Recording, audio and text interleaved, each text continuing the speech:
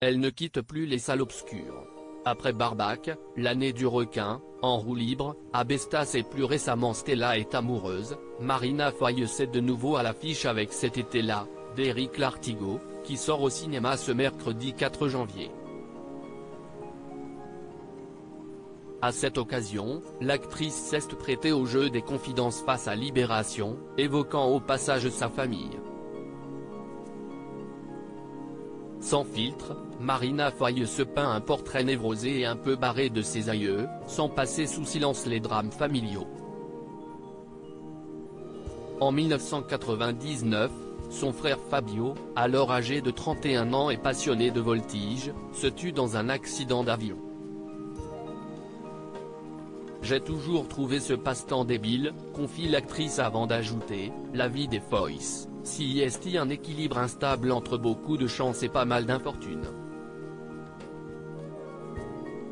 On est habitué à la catastrophe, mais on a aussi une pratique salvatrice de l'écoute et un accès au psy.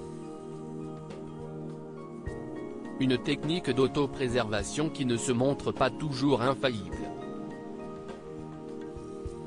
En effet, comme l'indique Libération, Marina Foyce n'a pas eu la force de lire Je suis une sur deux, le livre que sa sœur Julia Foyce a écrit sur son viol.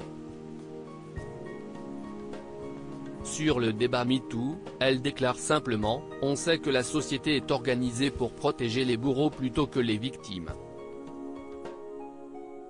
Une fois qu'on en est là, il faut arrêter d'ajouter des commentaires aux commentaires et donner la parole aux gens qui ont une expertise là-dedans.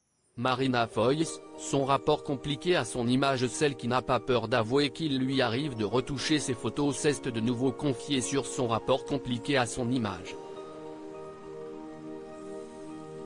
La journée d'une actrice débute par une heure et demie devant un miroir, ce n'est pas un rythme de fréquentation normal, avoue-t-elle.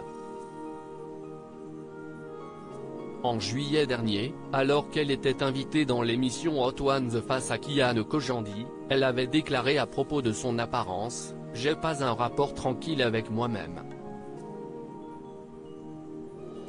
Là, en ce moment par exemple, je me trouve horrible.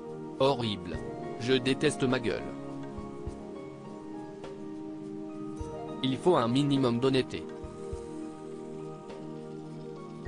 Moi je suis super maquillée, super coiffée, super habillée. On pourrait avoir l'idée que tout ce rapport-là est facile.